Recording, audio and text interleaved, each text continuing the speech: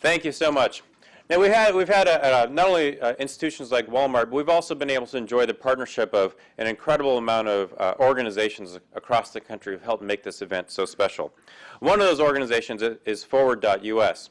And our next speaker has been active with their, their network, and they've, Forward.us has joined uh, institutions like the Partnership for New American Economy, the National Hispanic Christian Leadership Conference, the National Association of Evangelicals, Sojourners, and so many others as members of our host committee.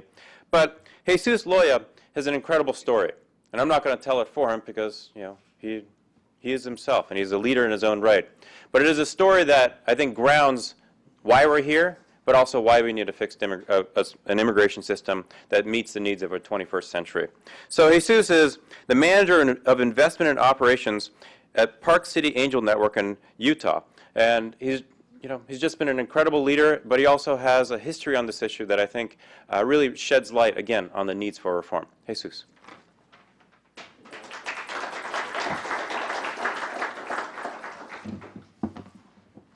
Uh, good morning, everyone. Uh, my name is uh, Jesus Loya. I'm from Salt Lake City, Utah. I'm, I'm happy to be here. Uh, I graduated from the University of Utah uh, with an honors degree in electrical engineering.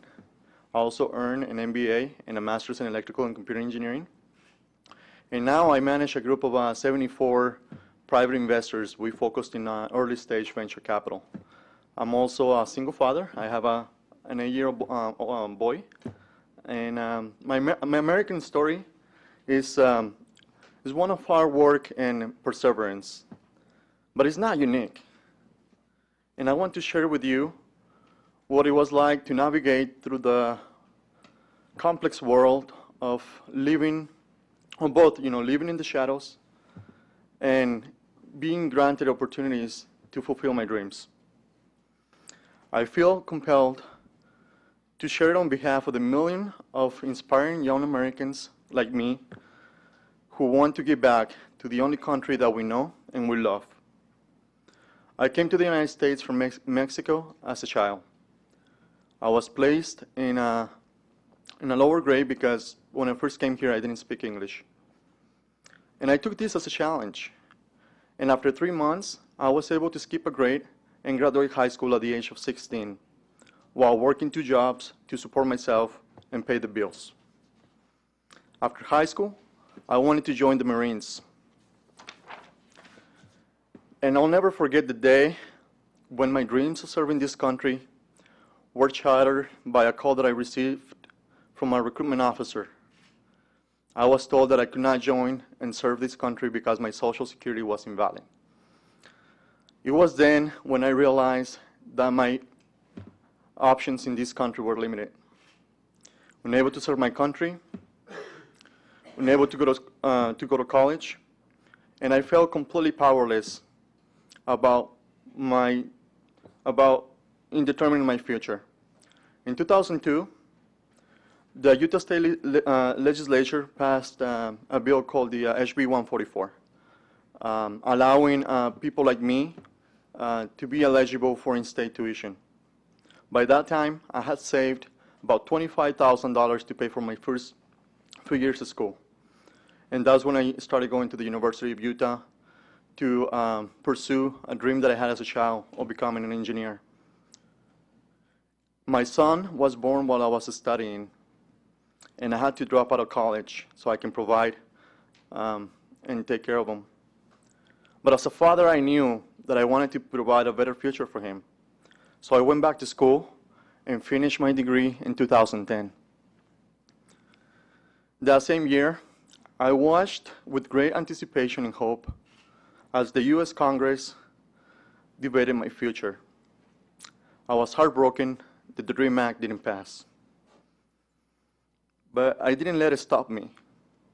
I continued my education, and within 21 months, I went back to school and received my advanced STEM degree and an MBA. I now work in venture capital. I love what I do. Every day, I facilitate the dreams of entrepreneurs who are building amazing technology, are creating jobs in the private sector, and are contributing to the economy. One company that I'm particularly proud, proud of, it's a company that over the last 15 months has been able to hire 17 people and they have plans to add nine more jobs by the end of this year. I consider myself as an American, but on, on paper, I am not. I have two STEM degrees and an MBA. I've been paying taxes since I started working back in 1998. My son and my sister, they're U.S. citizens. My parents and my two other sisters, they have their green cards. I currently have a work permit, and I'm waiting, for a USCIS to give me an answer on my EB2 uh, petition. But yet, my, my future in this country is still unclear because of the outdated immigration system that we have. And that's why I'm here in, in Washington, D.C. Because I'm not going to sit on the sidelines. And in Utah, back in Utah, I'm very active with Forward US and the Dream Is Now campaign so that you know we can get more people like me you know to tell their stories and we can also you know get people to continue pre- you know to, to take you know an action and press our members of congress to take an action on this in, on this issue and finally finally pass an immigration reform that is you know long overdue um, and we need you know so bad whether it's in my whether it's in the eyes of my son or in the business plan of an entrepreneur that I'm advising. America is full of hope and promise, and I believe that comprehensive immigration reform is necessary to solidify this promise. I hope all of you join me and make sure that, that it happens. Thank you all for your time. Appreciate it.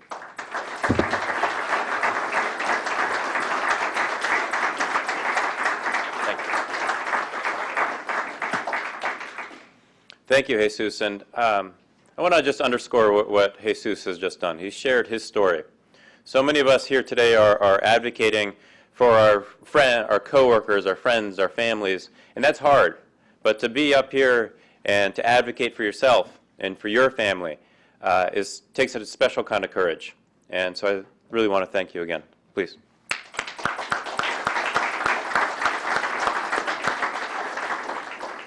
And again, I, I just want to list, uh, uh, thank the, the hosts, our co-hosts for this event, uh, Business Forward, Americans for Tax Reform, Sojourners, the Coalition for Western, the Conference of Western uh, Attorneys General, Forward.us, the U.S. Chamber of Commerce, the National Hispanic Christian Leadership Conference, the National Hispan- Association of Evangelicals, and then finally the Partnership for New American Economy. Again, thank you very much for helping make today so, so special and such an important moment.